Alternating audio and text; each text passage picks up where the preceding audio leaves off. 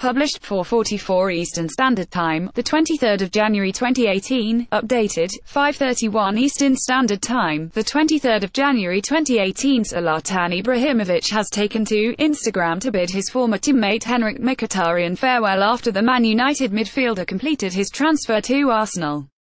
Ibrahimovic posted a photo of the pair celebrating after United's Europa League final win last season to his Instagram story accompanied by the caption, Luck you don't need. So just enjoy your game, Mkhitaryan, who scored United's second in the 2-0 win over Ajax to clinch the Europa League, was unveiled as an Arsenal player on Monday. Zlatan Ibrahimovic posted this photo of him and a Henrikh Mkhitaryan celebrating together. The Midfielder joins Arsene Wenger's side as part of the deal which sees Alexis Sanchez move to Old Trafford on a four-and-a-half-year contract. Mkhitaryan described the transfer as a dream come true, and revealed it had always been his ambition to play for Arsenal. It's a dream come true because I've always dreamed of playing for Arsenal, Mkhitaryan told the club's website after his unveiling.